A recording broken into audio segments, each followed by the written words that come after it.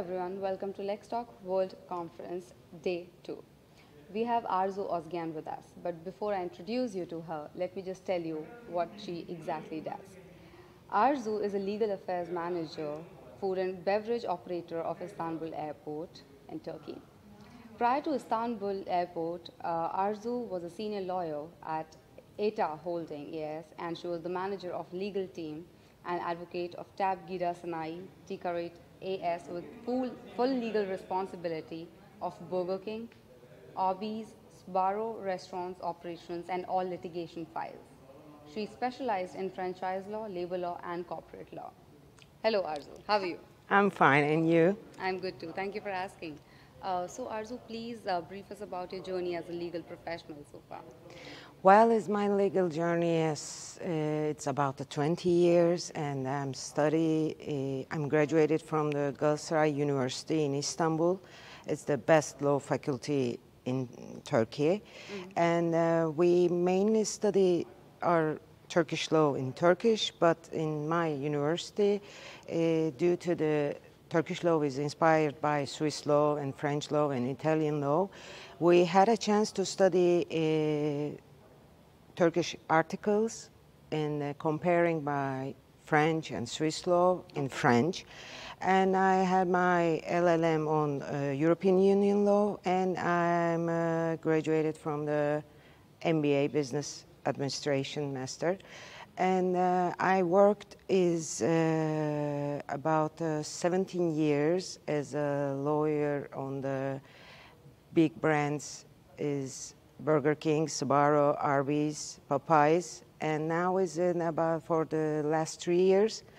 I'm a legal affairs manager of uh, food and beverage operator of Istanbul Airport, and um, now I'm, I'm, I'm, specialized on franchise law and uh, labor law as a employees representative. Now I'm studying aviation rules and the airport rules that's wow. it. That's fascinating. Thank you. Say. Thank you. Uh, so, uh, having this much, like you know, uh, so much of experience, uh, Arzu, uh, tell us about your most memorable case. Well, as my most memorable case is uh, well, when the case started, I was a junior lawyer, and when the case finished, I was a legal manager. Wow. It takes more than a decade, and then we were debtor, and we have an X million debt, and the end of the uh, case, it was three X million K, uh, dollar. Oh. And then it's uh, when the case is over, we have so many things in the decade. Uh, I have a small resume to the president of the board of directors, and I asked him, it's, uh, well, it was a X million debt, but the end of the day, we paid 3x million debt. Why we didn't pay when the debt is few? And he said, it's, I use this X debt, X dollar. Mm-hmm. I invested. At the end of the 10 years, I have 10x million dollar. And we paid 3x million dollar and we gained 7x million dollar. And then I realized that that's why they call them businessmen and they called us lawyer. wow, that's that's amazing. So, um, like, uh, I, with your experience, uh, I just would want to ask you this question, uh, Arzu. Uh, what is the difference uh, between the in-house lawyer and a law firm's lawyer?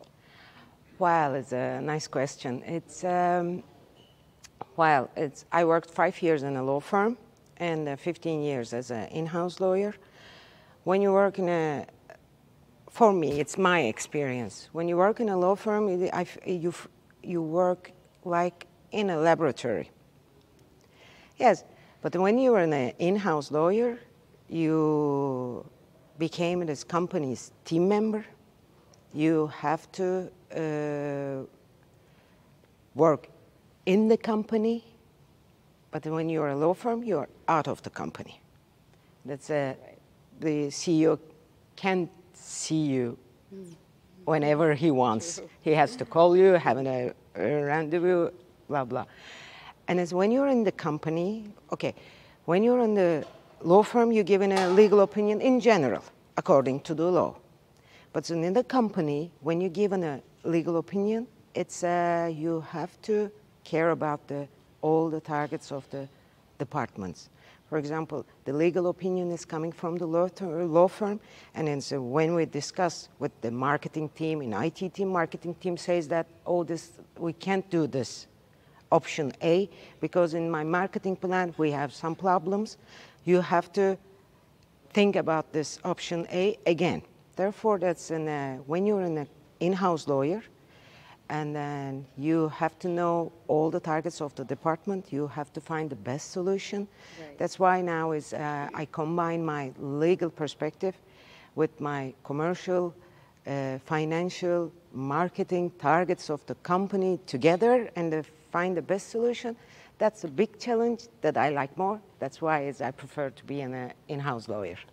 Absolutely, absolutely. Thank you so much, Arzu, for You're asking welcome. that question. Um, coming to uh, my uh, last question, I will not bother you after this. Uh, how do you look at franchise law uh, in 2021, and how do you think that it might change uh, wow. maybe five years down the line? Well, the franchise system is uh, very popular in Turkey and then even on the all around the world.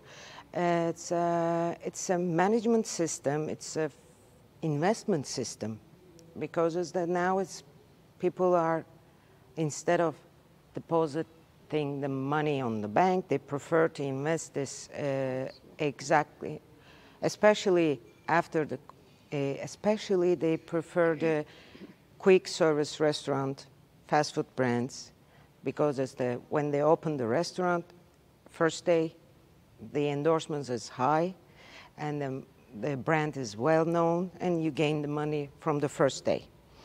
It's uh, international brands prefer this to grow on the country. Even the Turkish brands also the, uh, prefer this system. And, but nevertheless, is, uh, we don't have any special franchise law in Turkey.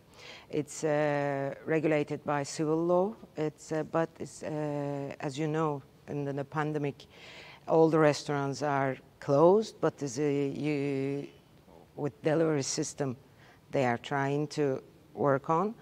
But I think in five years we need definitely it's a special uh, franchise law is, has to be prepared. After what we learned from pandemic, it has to be in this law, and uh, uh, that will be a big thing in five years. Thank you. Thank You're you welcome. very much. Thank Arzu, you. For answering all the questions, and I really hope that you're enjoying your experience uh, at the Let's World Conference. Ah, yesterday was very awesome, and then I had a chance to meet the, all the all around the world people, lawyers, and the most exciting topic was is the artificial intelligence. It's the main issue all around the world. Is that we need a, how we do the logarithm on the uh, artificial intelligence. Is it okay for legal system? Is it trustable on legal system? And I realized that all around the world, all the lawyers talking the same problems exactly. and the solution we are expecting the IT people, I think IT yeah. people will, will solve this problem. All right. Thank you very much. Thank you. I Thank you. That you enjoy uh, oh. the rest of the day as well. Thank you. Take care. It's always a pleasure uh, talking to you. Oh, me too. Thank, Thank you. you.